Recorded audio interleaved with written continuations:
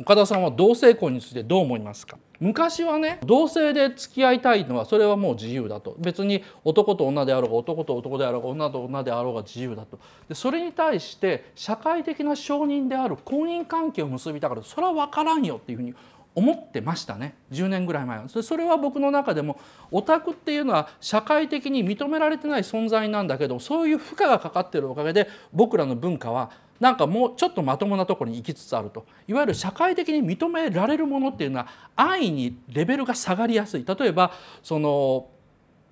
こういう言い方したら何だかも分かんないけどさえーと、なでしこジャパンっているじゃない。サッカーの女性選手たちね。であの人たちが今度アメリカと戦うんだけども、まあ、過去30戦やって1回勝ったぐらいで。でまあほぼ勝てるかどうかというとすごい微妙なところだというんだよ。でもテレビ番組見てる限り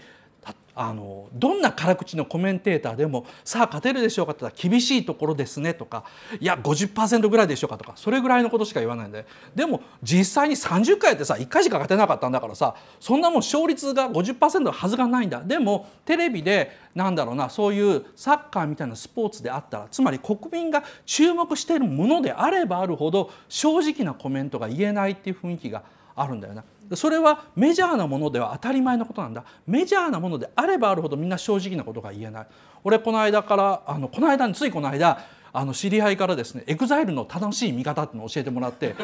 正直俺今までエグザイルの見方がよく分かんなかよく分かんなかったんですよ。ででもあれはいい年したおっさんたちが若作りして一生懸命踊っているっていう見方を教えてもらってそう見ればいいのかと思ってエグザイル見たら確かにいい年した普通のおっさんが一生懸命若作りして手足ピンピン伸ばして踊ってんだよ。面白いって思ってうわこれはいいって思ったけどこれもやっぱテレビでは言えないわけだよね。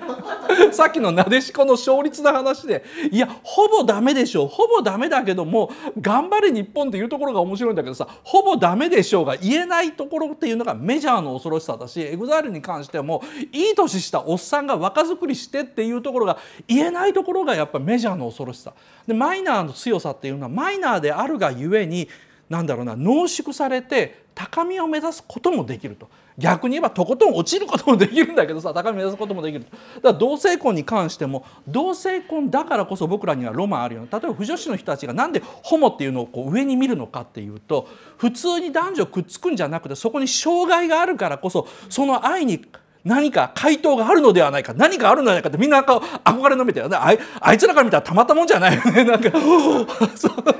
俺たち好きで本をやってるんで勝手にお前らの理想的な恋愛観乗っけないでくれって言いたくなるだろうけどさそれはもう同じだよね。女の子になんかちょっと綺麗な女の子に私たちに美人っていう冠をかぶせないで普通の人間として見てよっていうふうに言いたくてもかぶせられるのと同じように同性婚の人たちもそういうところがあるな同性愛の人もそういうところあるんだけどもそれが社会性を持って例えばオタクに人権をって言ったりなんかあのちゃんとした俺たちが漫画とかアニメ見てても普通に扱えといわゆる大人がアニメ見るのは悪いことだと思いますか？みたいな感じで言ったり同性婚っていうのが同性愛じゃなくてそれが同性婚にまでいて社会的に同等に扱えというふうに言っちゃうとメジャー化が起こりそれは大部分の人にとっては満足のいくことになるだろうけどさ幸福になるだろうけどさその文化自体はなんか多分ボルテージ失うだろうなっていうのはちょい感じるというあたりですね。あのどう思いますかとこに関しては基本的にその人たちは幸せになるからいいことだと思うし社会的に認められるのはいいことだと思うんだけどもオタクが大衆化して萌えアニメが増えて結局そのオタク文化というのはどういうふうになったのかというと俺はボルテージ下がったと思ってるからさ現に宮崎駿の後で庵野秀明がいてでその他にそのもうね40代以上のアニメ作家しかいない状態なわけですよ。でそれを見てるとああの文化としてボルテージ下がっちゃうとこうなっちゃうのなっていうふうに思っちゃう。多様化というふうに今言ったんですけど多様化っていうのはですねそのアメリカファーストというトランプと同じように価値観の多様化というのはですねコミュニティの衰退を生むんですね。コミュニティっていうのは一つの価値観でできるだけ統一ってその一つの価値観内でのバリエーションがあればそれは多様化なんですけどもその元の価値観自体がいろんなですねものを含んでしまうともうそれは文国国が一つでなくなってしまうと。で同じようにですね不女子もこの僕らが知ってるコーナーを曲がりつつあるなと。もともと女性の分あの不女子文化というのはあのここが同じよりはここが違うっていうのが多いところででなんかなんとかかけるなんとかでもどっちが前か後ろかでさっきも言ったように親の敵のように憎み合う文化の中でですねこれまでなんとか統一性取れてたのは女の人の社会性の高さなんですね。つまり他の人と趣味が食い違ってても我関せずと。男の文化だったらですね論争が起きるんですけど だからあの論争なんとか論争っていうのがあるんですよ。なんとか SF かとか。でも女の人の場合は静かにスルーし合うっていうことがあるからそれ一つの文化だったんですけどもですね。あのなのであのね分裂が意識されだすとさっきも言ったようにユーリオンアイスはそれでいいのかみたいな一回分裂が起こり出すと男性のように有利オンアイス許すか許さないかという論争が起きずにですねそういうのに対してお互いにスルーするようになってしまうので余計分断が激しくなりやすいと思うんですね。でまあこびてるかどうか僕知らないです本当に有利オンアイス見てないから分かんないんですけどもなんかねあの